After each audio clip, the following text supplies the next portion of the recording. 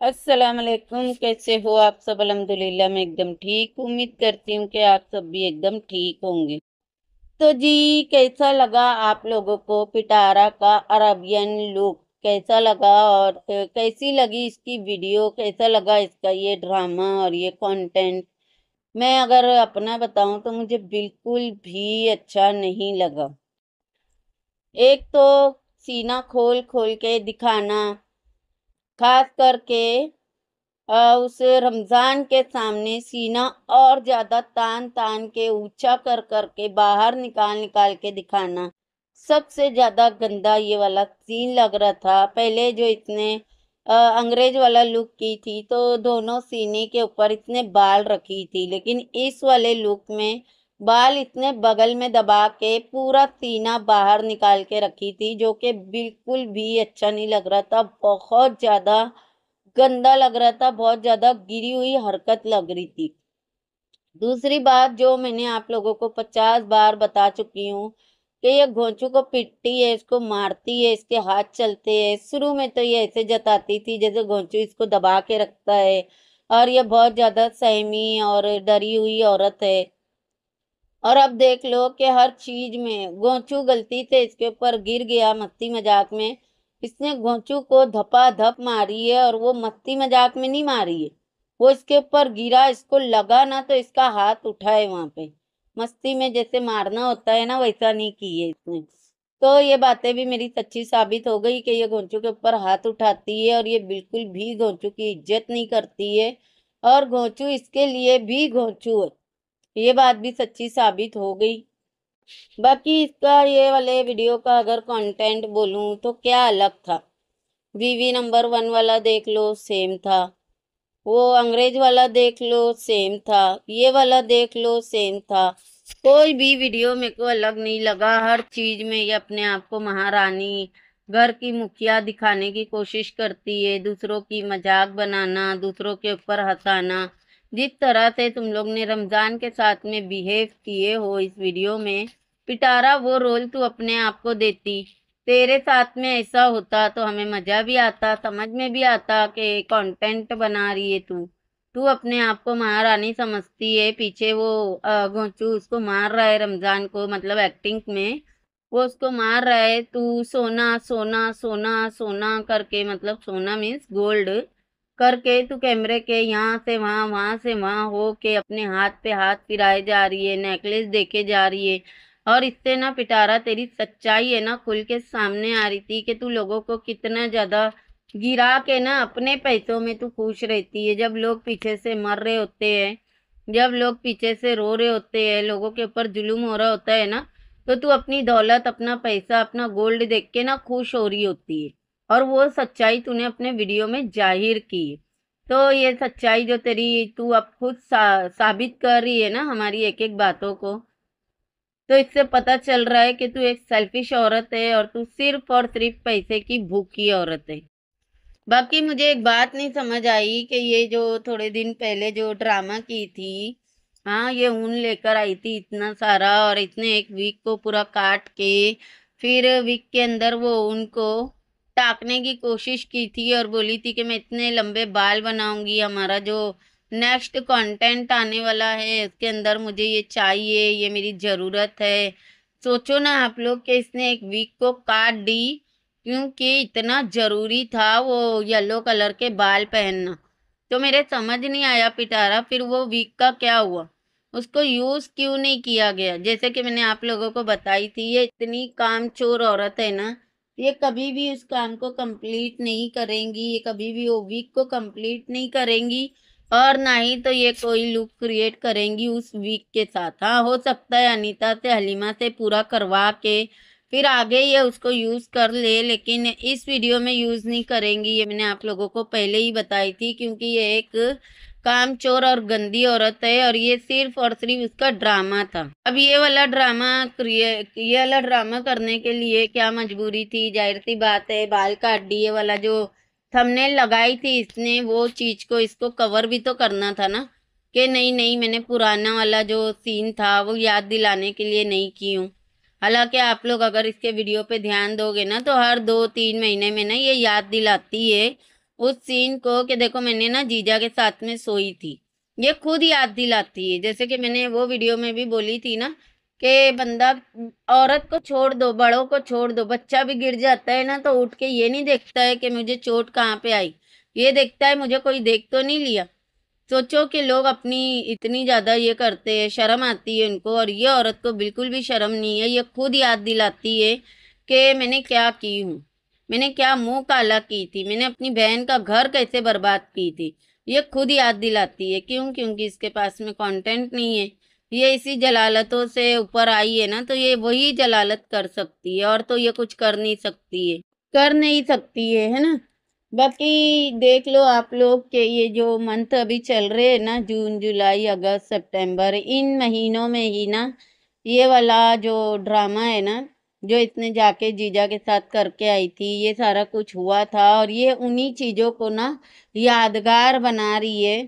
पहले तो इसने बाल काटने वाला टाइटल थंबनेल लगाई, बाल काटते हुए ड्रामा करके दिखाई। पहले तो इस तरह से इसने सेलिब्रेट की है उस जलालत को और अब ये अरबिक लुक क्रिएट की है और ये भी इतने की थी। आप लोगों को याद होगा सऊदी में ये गई थी तो अरबिक यूज़ मतलब गेटअप ली थी और सारा कुछ ड्रामा की थी, ऐसे ही मेकअप करके, सीना दिखा के, इस तरह का फ़ोटोशूट वगैरह करवाई थी।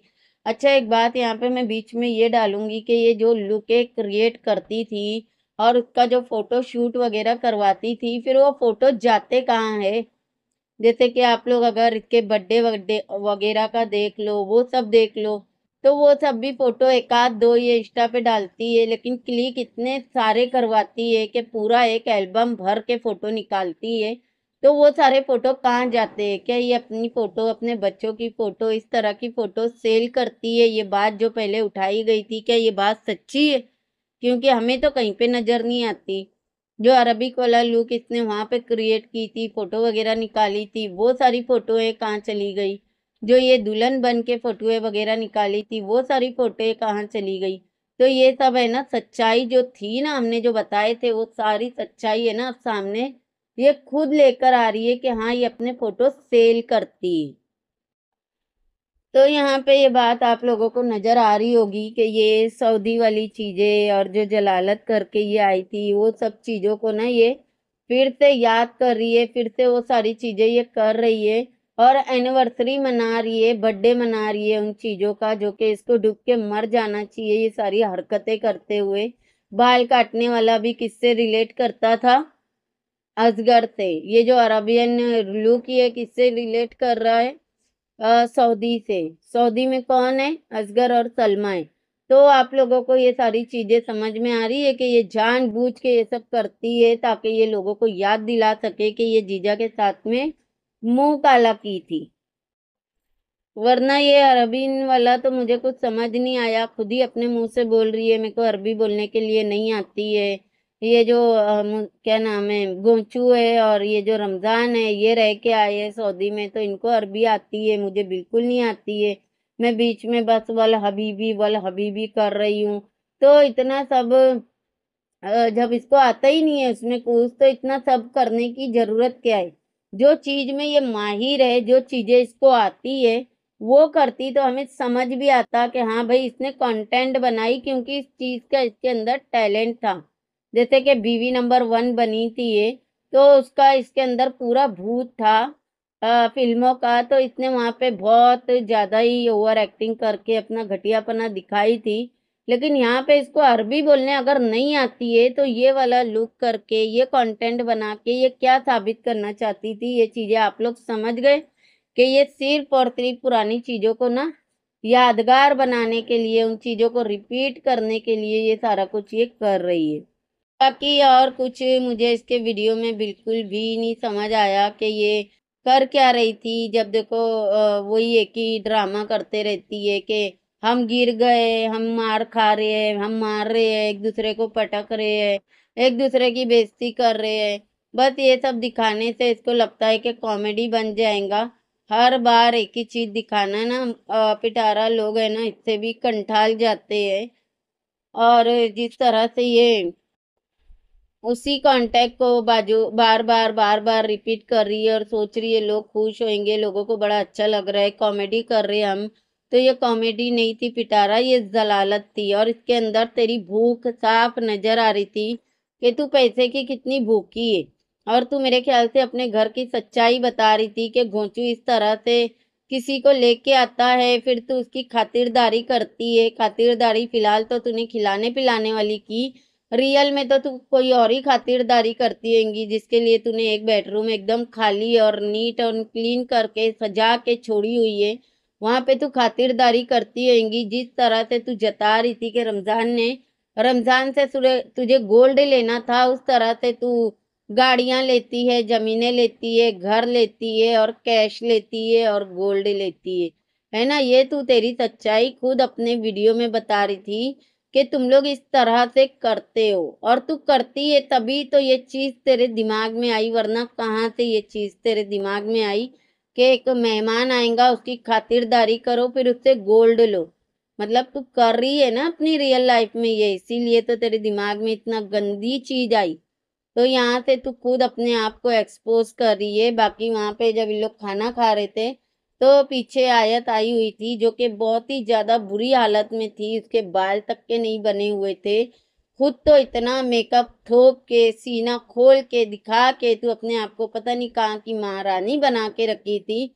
और बच्चों की हालत देखो तो इन्हीं बच्चों के लिए लोगों ने सपोर्ट किए थे ना, इन्हीं बच्चों के लिए लोगों ने इसको इतना आगे बढ़ाए थे ना कि तू बच्चों के लिए कुछ करेंगी। तो बताओ बच्चों के लिए ये यहाँ तक के इसके पास टाइम नहीं है कि बच्चों के बाल ही बना ले। उनको भी थोड़ा बहुत पाउडर लगा देती, उनको भी अच्छे कपड़े पहना देती, लेकिन नहीं ये खुद इतना सारा मेकअप थोप के आके अपने आप की नुमाइश करते हुए दिखाई दी है, लेकिन बच्चों को कहीं से भी मुझे नहीं नज़र आया कि इसने बाल तक के बना दिएँगी तो पिटारा, तेरे ऊपर लानत है जो तू इतनी जलालत कर रही है और बच्चों के लिए जो तूने सिंपति ली थी, आज बच्चों, कौन सी हालत में है? क्या तूने बच्चों की दुर्दशा करके रखी है? वो साफ़ नज़र आ रहा है। तो और सपोर्ट करो ऐसे झूठे लोगों को, ऐसे घटिया लोगों को सपोर्ट करो जो सिर्फ़ और सिर्फ़ गंद करते हैं, झूठ बोलते हैं और बच्चों के नाम पे सिंपति लेते हैं। बाद में बच्चों की क्या हालत हो रही होती है ना, वो दिखता है। बाकी एक बात नहीं समझ आती है, रमज़ान को इतना ज़्यादा स्पेशल पिटारा जो उसको ट्रीट करती है, गोंचू को धपा धप धपा धप मारते रहती है। और अपनी औकात दिखाते रहती है और रमज़ान को देखो तो हर दम मतलब ऐसे जताती है कि रमज़ान का रोल बहुत अच्छा है, रमज़ान बहुत अच्छा कर रहे हैं।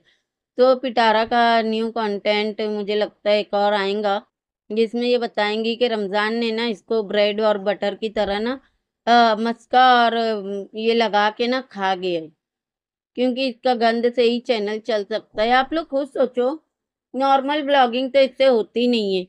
क्योंकि इससे कोई काम ही नहीं करती है तो कैसे होगी नॉर्मल ब्लॉगिंग है ना? नॉर्मल ब्लॉगिंग इससे होती नहीं है। तो ये क्या दिखाएँगी आगे? क्योंकि इसका चैनल तो कंट्रोवर्सी से चैनल चलता है। तो आपको नहीं लगता कि ये कोई ना कोई कंट्रोवर्सी लेके आने वाली है, जिसके वजह से ये इतना गंद दिखा रही है कंटेंट बना बना के दिखा रही है, आने वाले दिनों के लिए ये हिंट दे रही है? आप लोगों को नहीं लगता? मुझे तो लग रहा है कि कुछ ना कुछ तो ये आगे कंट्रोवर्सी करने वाली है। जो कि जिसके वजह से फिर से इसको ना मिलियन में व्यूज़ आएँगे। और फिर वो कंट्रोवर्सी चलेंगी एक डेढ़ दो साल, फिर बाद में ये एक आध साल नॉर्मल सा यही ड्रामे करेंगी, फिर कोई ना कोई कंट्रोवर्सी लेके आएँगी जो कि इसके चैनल का इसी तरह से ये ट्रेंड चलता आ रहा है। और मुझे तो लग रहा है कि ये कुछ ना कुछ करेंगी। बाकी देखते हैं क्या करती है। बाकी मुझे ये वीडियो बिल्कुल भी नहीं पसंद आई। बस अपने ही हस्बैंड का मज़ाक बनाना। उसको जलील करना, उसको इस तरह से दिखाना कि ये तो इसके गले में तो मैंने पट्टा डाल के रखी हूँ तो ये तो मेरा गुलाम है। और मैं बहुत ज़्यादा कुछ टोप हूँ, मैं बहुत बड़ी कोई चीज़ हूँ तो मेरे आगे पीछे दुम हिलाते हुए घूमता है, इस तरह से जताना। तो ये सब अच्छा नहीं लग रहा है पिटारा। और बार बार ये जताना कि मैं तो किचन में रहती हूँ, मैं किचन में रहती हूँ, मेरा तो घर का काम रहता है, मैं तो घर का सारा काम रह, करती हूँ। ओवन चलाना तो तुझे आता नहीं है। सारे औरतों वाले काम घोंचू को याद रहते। आई बड़ी तू किचन में रहने वाली और घर के काम करने वाली। शर्म कर ले पिटारा के घोंचू को पता है ओवन कैसे चलाते हैं, तुझे नहीं पता। बार बार इस चीज़ को हाईलाइट करती है कि मैं तो किचन में रहती हूँ, मैं किचन में रहती हूँ। जाके सिर्फ़ चीज़ें है ना, टोप में डाल देने से ना खाना नहीं बन जाता पिटारा। पूरी तैयारी करके खाना बनाने को कहते हैं कि मेहनत करके खाना बनाई। पूछते रहेंगी, कैसा बना है, कैसा बना है, कैसा बना है? अरे भाई, तू मेहनत करके बना, फिर पूछना शर्म बिल्कुल नहीं है सच में इस औरत के अंदर। चले, इस वीडियो को यहीं पे एंड करती हूँ। वीडियो कैसी लगी कमेंट में ज़रूर बताना। वीडियो पसंद आएँगी तो लाइक शेयर और सब्सक्राइब भी कर देना। मिलते हैं नेक्स्ट वीडियो में। अल्लाह हाफिज़।